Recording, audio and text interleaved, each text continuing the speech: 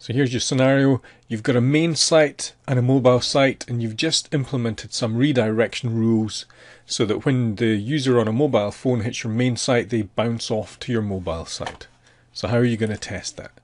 So here's the kind of thing I'm talking about. I'm using the BBC as an example here. This is the main site. If I hit this with a mobile device, I'll bounce off to m.bbc.co.uk and we'll get a slightly different experience and slightly different formatting. Now this is done by the use of the user agent in the HTTP uh, headers. And you can get a list of all the user agents off on things like useragent useragentstring.com there's a lot of information about out there on user agents. So the basic thing you're thinking how could I test this? How could I test going to the bbc.co.uk and getting redirected to this well, I could get a bunch of devices. We could decide on a, a, set of devices and say, we support this device list. Let's test on these devices and these devices only. And that would, that would work, but you'd be limiting the amount of testing you could do. And you probably missed a lot of conditions. Uh, so what I'm thinking is it's a technical test in that there's just a user agent. I don't actually need any devices. If I hit a request on with just a user agent, I can do that. So what I really need to do is find a way of spoofing the user agent when I go in. Now I can do that with Chrome pretty easy now, and that's how I did this in here. In Chrome, if I just go into the inspect element and over here in the tools, I can hit the override. I can override the user agent. So I can be on iOS 4 here. I'm going to change the device metric so it looks like iOS 4. And hopefully now, if I go on to bbc.co.uk here, it will redirect me off to the mobile site. So there's a list of user agents in here. I could just use them, but then I'd be limited to the user agents that are in the Chrome by default. But I can add my own, it's not a problem. I can add my own user agent in there. Um, but again, it's going to take a long time to do that manually. And I'm thinking, whenever I'm faced with a problem that has uh, a just a, a data a data set variation, and in this case that's all it is. We've got a lot of user agents that we could use. Let me show you some of these. So the user agents string.com has a whole bunch of lists of user agents.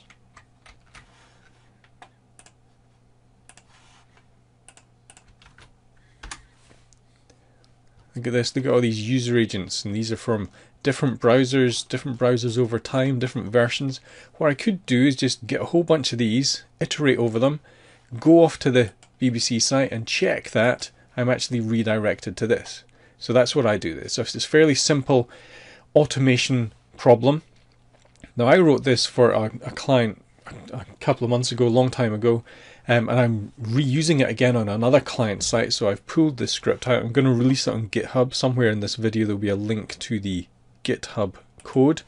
But let me just quickly show you what it does because it's very simple. And I'm not pointing this out as really good automation code. I'm just pointing this out as sometimes we want to do the simplest thing we can as fast as we can. We don't come up with an elegant solution. We just come up with something very simple. And here, I could uh, use Java HTTP libraries. I've chosen instead to use PhantomJS and the GhostDriver on WebDriver. Why? Simply because it makes it easy. That's, that's why I'm doing it. It's easy to incorporate into my project. Like, All I have to do is incorporate, is bring in Selenium and bring in the PhantomJS driver. All I have to do is download the PhantomJS from the PhantomJS website so I get the executable so that I can actually use this. My test is very simple. Uh, what I do is I make a couple of checks to make sure the, the driver is present, the executable. And what I do is I go off to the user agent string.com, I go off to a couple of pages on there and just pull off the user agent list I'm looking at. So you can see here, I'm going to a couple of those pages, one of the ones we one that we saw, and I look for anything with UL, LI, anchor. If I go back to the page, you see what I'm doing. I'm going off to one of these pages and I'm basically looking for a UI li anchor which has the user agent string in there and I'm just pulling all of these off the page. So I'm scraping this stuff off. There's probably better ways of doing it, But when I came to do this, I was looking for a very simple way of doing it. That was the simplest way that I could see of doing it. Then I look through the list of anchors that I'm looking for, and if it's got BlackBerry or if it's got Android there or if it's got BlackBerry with the semicolon, a whole bunch of conditions I check for, then I'm taking it as a mobile device and it should be redirected. Now I have no idea how the BBC tested this or any of the other sites testing this. I know how my client tested this, and when I ran this against their site, uh, we they missed out 110 different devices. I was able to double check against the BBC, and the BBC only missed out. I think it was what three devices, one one or three devices. Can't remember exactly, but we'll see in a minute when I rerun this. Now the test is very simple. Having got a list of user agents, all I'm going to do is choose which site I'm going to redirect from, then iterate through those agents, hit the main site, and check that I've been redirected. And keep a list of those that failed. That's pretty much it. You can look at the code in detail. This isn't really about the code, this is more about the approach. Uh, it'll be on the GitHub site. Now, if I ran this, which I've just done, there's the main TFL site. Why am I choosing these as live sites? Because these are paid for out of my taxes, so I'm allowed to do whatever I want to their websites. So there's TFL. TFL has got a mobile redirect. I went in there as a iOS phone and it redirects. Now what's interesting then is having run my script against this, I've got a list of three user agents that failed to redirect. Now, that's not that bad. Uh, when I pulled off the list of user agents, out of the user agents on the site, uh, on the user agent string site, I found 10,830 possible user agents I could have used. Using the filter that I put in place, we brought that down to a list of 166. Out of the 166 user agents that I tested this site against, it failed on three. So what I can do now is I can look up these user agents, double check whether they are actually mobile devices, and see if it's anything that we actually care about. So I'm, what I'm doing here is I'm scraping a list of oracles because I don't know what the real user agents are. I know what we've decided on a project, but I can go out and find real things in the real world and use those.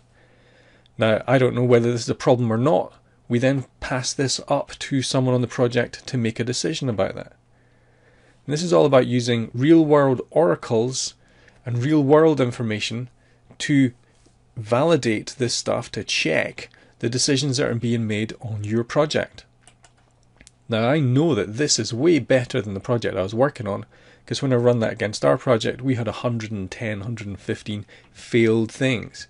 We didn't do as good a job as TFL or BBC. If I run this against the BBC, I think we get one thing failed. Now, I could make this a lot faster by not using the WebDriver, by not using GhostDriver. Then what I'd have to do is parse the XML and find a different way of scraping this stuff off. Because WebDriver has the ability to find the elements in the page, this seemed like an easy way of doing it.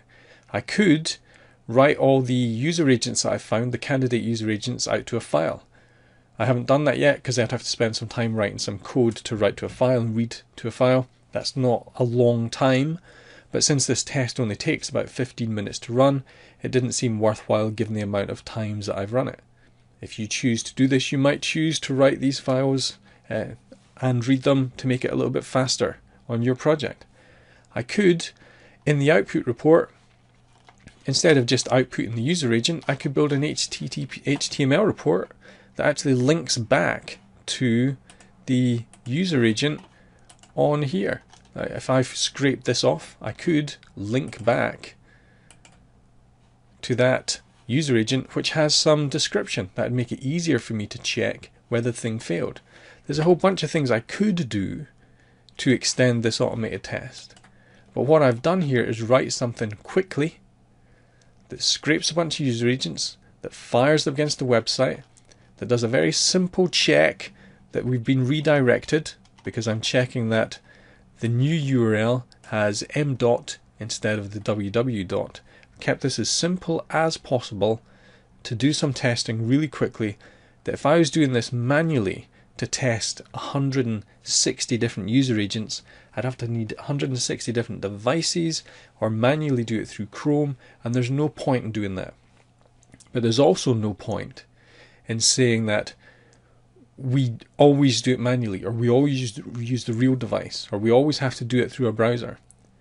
If we boost our technical skills to even have just a little bit of automation in there, a little bit of scripting, you can do this in pretty much any scripting language. I haven't even written an app for this. This is just a, a test in in JUnit that does this stuff. Kept it really simple.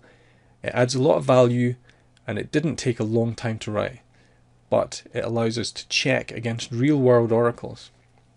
And also, you come out with a list and you say, we failed on 115 different user agents, and the project is likely to say, well, that doesn't sound important to us, why would we care?